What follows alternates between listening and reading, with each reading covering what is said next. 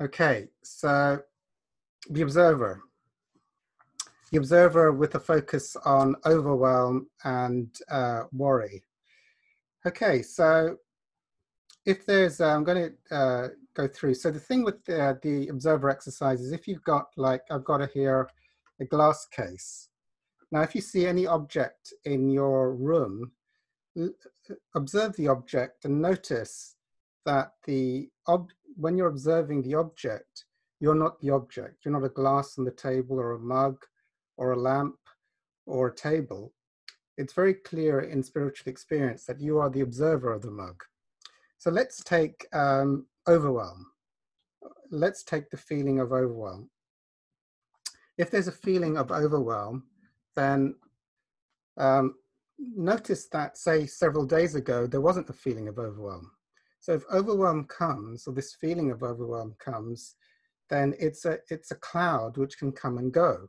Just like a mug, can you, you can see a cloud come and go in the sky, or you see, can see a table, or you can see a bird fly across, uh, across the garden. So overwhelm is like a cloud that comes and goes. Sometimes it's here and sometimes it's not here and sometimes it's seeming to come into view and then sometimes it seems to be disappearing from view. So if uh, in this way you know that there is something which observes overwhelm, which is not overwhelmed. So if there's a feeling of overwhelm right now, can you be the witnesser or the observer of the overwhelm?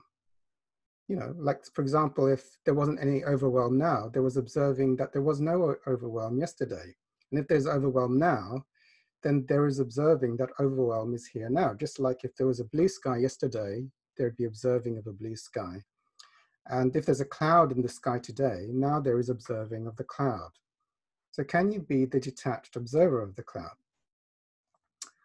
Also, in that way, uh, if you become the observer, if the observer of the cloud, if you are aware that there is something watching or observing or witnessing the overwhelm, if you get that detachment, if that, uh, if that observer is being affected by the overwhelm, then can you be the observer of that observer?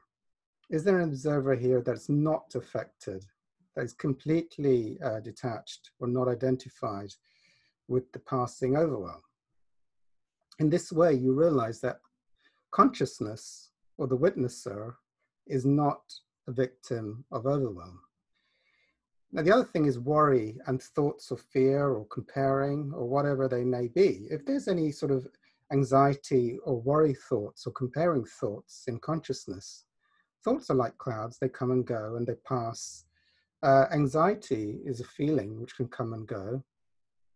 So you, you'll notice in your experience that these things come and go, thoughts come and go, anxieties come and go. Some days there's no anxiety and some days there's hardly any thoughts or there's no thoughts. So what is here, even if anxiety or thoughts or, uh, or fear thoughts or comparing thoughts are here, what observes this or witnesses this? Can you be the witnesser of anxiety or thoughts? If you're in the witnesser of thoughts, in the experience of the observing, where the, the thoughts are out there and the anxiety is something that's an object out there, in your the experience of the observer, is the observer affected by these external things that can come and go. So in this way, you explore it. Now, as you do the observer and go deeper into the observer, what's your experience now? Do you feel any contraction? Is the observer limited? Is it contracted? Is it affected by something? Can the observer be affected by thoughts or anxieties or comparing thoughts? If it is, what's watching that? That is, what kind of observer can be affected by these? Is there an observer of that observer? So keep going back until and see if you can get to a place which is beyond thoughts, beyond anxieties, uh, beyond overwhelm, and is free from all of those. Is there a place here in the now that is not subject or hooking in or identified to these things that come and go? So let's just take a minute to reflect on that. And I'm going